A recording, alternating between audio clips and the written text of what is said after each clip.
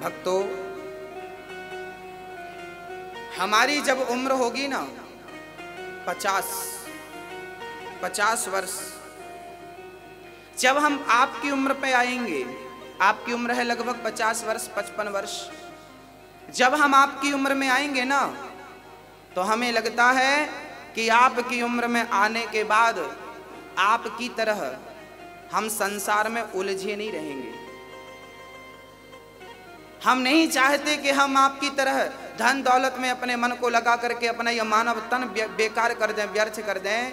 ये चारों धाम भारतवर्ष की यात्रा, भक्तों से मिलना, रसिकों से मिलना, घर परिवार से मोह ममता हटा करके, घर परिवार से मोह त्याग करके बस हरि प्राप्ति के लिए चलना है, केवल ईश्वर प्राप्ति के लिए। एक ही उद्देश्य हो, जब तक लड़कपन है, जवानी है जब तक करने योग्य है, ये काम करने का 25 साल तक आपको शास्त्र कहते हैं, ब्रह्मचारी रहो। 50 साल तक शास्त्र कहते हैं, गृहस्थ रहो।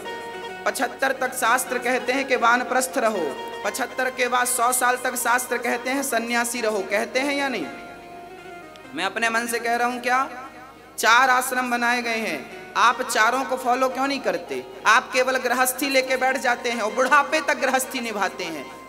आप भगवान को पागल समझ रहे हैं। आप भगवान की मर्यादाओं की को लांग रहे हैं उन सीमाओं को। आप दुहाई दे रहे हैं, महाराज जी, गृहस्थी तो सबसे श्रेष्ठ है। हाँ गृहस्थी श्रेष्ठ मैं भी गृहस्थ हूँ। आपकी तरह। बेटा, बेटी, विवाह दिया, काम पूरा। अब क्या पड़े हो? बच्चे लात मारेंगे, घर से तब निकलोगे? मन से क्यों नहीं निकल रहे हो? लात खाने का इंतज़ार है? घर पे कम रहिए। ज़्यादा से ज़्यादा एक माह वृंदावन रहो, एक माह जगन्नाथपुरी जगन्नाथपुरी जाओ। जगन्नाथपुरी में तो जो भगत लोग खाते हैं ना, आप लोग खाते हैं और खाने के बाद पत्तल में ढेर सारा फेंक देते हैं। वो जूठन खाओ। हम तो जाएँगे अपने जीवन के अंत समय में। हाँ और जाएँगे जगन्नाथपुरी, क्योंकि चैतन्य महाप्रभु का नाम सुना होगा आपने। चैतन्य महाप्रभु ने अंतिम समय आखिरी के 18 साल जगन्नाथपुरी में व्यतीत किए और वहाँ पर महामंत्र का जाप करते थे, हरे राम हरे राम राम राम, हरे हरे हरे कृष्णा हरे कृष्णा कृष्णा कृष्णा, हरे हरे। हरे राम हरे राम राम राम, हरे हरे कृष्णा। चैतन्य महाप्रभु, भगवान का चिंतन करते थे। भगवान को याद करते थे। जगन्नाथ भगवान के मंदिर के सामने एक द्वार है, आपने देखा होगा, जहाँ गरुण स्तंभ है। आपकी दृष्टि पड़ी? स्वागत है आप सबका। जय हो। ठीक है, मंगल है आपका? बैठिए। स्वागत है। विराजी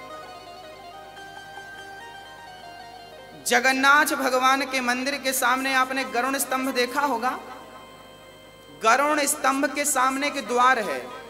उस द्वार पर खड़े होकर चैतन्य महाप्रभु ने जब पहली बार जगन्नाथपुरी गए थे और पहली बार जगन्नाथ भगवान से मिले थे तो वो सबसे पीछे खड़े होकर द्वार पर ऐसे हाथ रख करके और झुक करके भगवान कृष्ण को देख रहे थे। जगन्नाथ भगवान को इतना प्रेम उमड़ा भगवान के प्रति कि जिस पत्थर पर उन्होंने हाथ रखा था, उस पत्थर पर उनकी उंगलियाँ धस गई।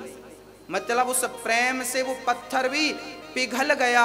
आज भी जगन्नाथ भगवान के मंदिर में, सामने के द्वार में वो पत्थर है, जिस पर आपकी तीनों उंगलियों के निशान बने हैं। श्री चैतन्य महाप्रभु की सारी उंगलियों के निशान बने हैं और जिस पत्थर पर आप खड़े थे, उस पत्थर पर भी उनके चरण चिन्ह अंकित हो गए, बन गए। भक्तों, और चैतन्य महाप्रभु खाते क्या थे? आप लोगों को ना सबसे ज़्यादा टेंशन होती है खाने की। खाएँगे क्या? अरे, ये चिड़िया होती है ना। ये चिड़िया भी आपसे अच्छी है। इतनी चिंता तो वो भी नहीं करती जितनी आप करते हैं। करती है? उसको पता है कि जिसने जन्म दिया है, जिसने पेट दिया है, वो पेट भरने को अन्न भी देगा। उस चिड़िया को विश्वास। बस हम लोग हिचकिचाते हैं। जगन्नाथ भगवान के मंदिर में दुनिया की सबसे बड़ी रसोई है जगन्नाथ भगवान की। दुनिया की, भारत की नहीं, पूरे वर्ल्ड पूरी दुनिया की सबसे बड़ी रसोई है जगन्नाथ भगवान की। वहाँ एक दिन में इतना भात बनता है कि लाखों, लाख नहीं, एक लाख नहीं, लाखों लोग मतलब 25-50 लाख लोग भी खा सकते हैं। हर रोज। इतनी दाल, इतनी सब्ज़ी, इतना भात वहाँ रोज बनता। वहाँ की रसोई कभी कम नहीं पड़ती। आप करोड़ों लोग चले जाइए, एक दिन में कम नहीं पड़ेगी। और कभी बचता भी नहीं कि फिक जाए। जाइए अपनी आँखों से। अभी 9 जनवरी को हम वहीं थे। हमने सब देखा। भक्तों को भी दिखाया। आप में से भी कुछ भक्त थे वहाँ? क्या? हाथ उठाइए। कौन कौन थे? इतने सारे भक्त वहाँ थे जगन्नाथपुरी जगन्नाथ वहाँ पर चैतन्य महाप्रभु थे, वो खाते क्या थे? बोले, आप लोग जो पत्तल पे खाकर छोड़ देते हैं ना, वो जाकर के उसी पत्तल को उठाते थे और आपका बचा हुआ जूठन खाते थे। किसी ने कहा, महाप्रभु जी, आप इतने बड़े संत हो, इतने बड़े भगत हो, आप जूठन खा रहे हैं अच्छा लग रहा है आपको? तब कहा था चैतन्य महाप्रभु ने, अरे, इस प्रसाद को तो भक्तों ने खाया है। ये तो भगवान की प्रसादी है ही, पर ये तो भक्तों की प्रसादी और बन गई। ये तो भगवान के साथ भक्तों की भी ये प्रसादी बन गई, ये डबल प्रसादी है। उस जूठी पत्तल को चाटते थे चैतन्य महाप्रभु। बस मेरी भी इच्छा है कि मैं आखिरी के अंत समय में जगन्नाथपुरी में रह करके और भक्तों का जूठन खा खा करके और बस हरे राम महामंत्र का जाप करके भगवत प्राप्ति करने का प्रयास करूँगा। आगे हरी इच्छा वो दर्शन देना, जगन्नाथ भगवान प्रत्यक्ष है, मैं ये नहीं कह सकता कि भगवान मिलेंगे कि नहीं। बिहारी जी के सामने खड़े होकर जो कहता है कि भगवान मिलेंगे कि नहीं, वो पागल है। अरे भगवान के सामने खड़ा है और तुझे किस भगवान की चाह रह गई है? वो साक्षात है, वो पत्थर की मूर्ति नहीं है। वो प्रत्यक्ष है, बस तेरा भाव हो सच्चा तो वो तुझे गले से भी लगाएँगे। और अभी हम जगन्नाथपुरी गए थे ना भक्तों तो मैंने एहसास महसूस किया, मैंने महसूस किया कि भगवान ने मुझे अपना बनाया, अपने गोद में बिठाया, अपना बनाया। भगवान जगन्नाथ मेरी गोद में आए और मैं उनके चरणों में था। मैं आपको क्या बताऊँ, जिसको दर्द होता है ना, बस वही बतला सकता है, उस दर्द को दूसरा सुन सकता है, महसूस नहीं कर सकता। मैंने जो महसूस किया है, वो मुझे पता है, वो आपको बतला नहीं सकता। वो शब्दों से वया करने की बात ही नहीं है। क्या कहूँगा मैं आपसे?